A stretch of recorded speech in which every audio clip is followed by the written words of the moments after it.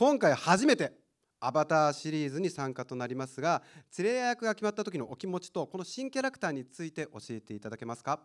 そうですね。やっぱりあの今回オーディションがあって、はい。で決まったわけなんですけどもやっぱアバターシリーズに出れるっていうことはあのどどうしよう？うん。え受けてもいいものだろうか？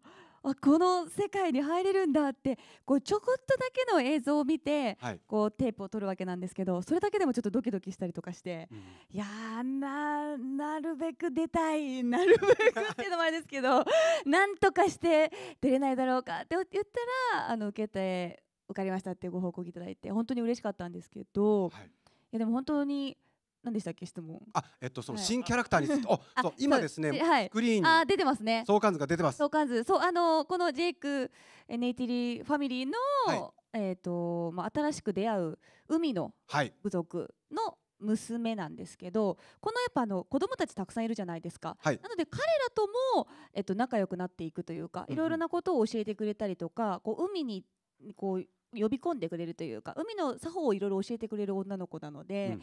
結構こういろいろとキーにもなってくるキャラクター。重要なキャラクターですよね。はい。そしてまあ予告映像でもありましたけれども ICU というアバターならではのあ。名台詞をはい、おっしゃってましたね、はい、ありましたね。どうでした？あのセリフを取るときに。やっぱ何度も何度もディレクターさんと話し合って撮ったんですけども、はい。大事に大事にしましたね。やっぱり緊張もしましたし素敵なすごく映像も綺麗なシーンなので、早く見ていただきたいなとどんなシーンになっているのかご注目ください。はい。そしてゆうまさんとの共演。ああそうそうですね。あスパイダー役の、はい。えー声優に弟のユーマがはいいるんですけれども あのー私も声聞かせていただいたんですけど全はい。く違和感ないのでご心配なくという感じです。いやいやそんな心配してらっしゃるわけじゃないと思うんですよね。あのお姉ちゃんとして。お姉ちゃんとして。はいはい。